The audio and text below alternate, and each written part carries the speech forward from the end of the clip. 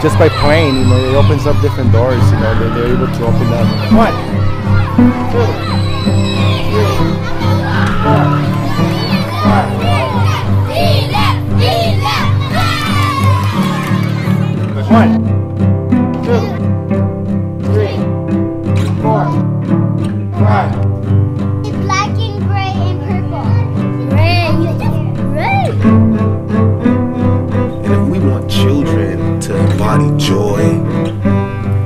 safety, empowerment, creativity, imagination, so that they can be present, and mindful, and engage in this playfulness that we're talking about, then the teacher, the one who has the relationship with the child, must also possess those traits.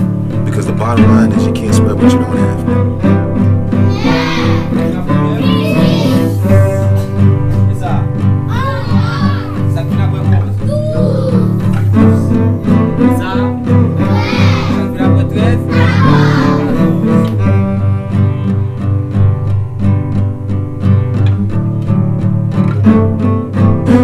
Break the cycle by creating those safe, loving, and joyful environments so that they are connected.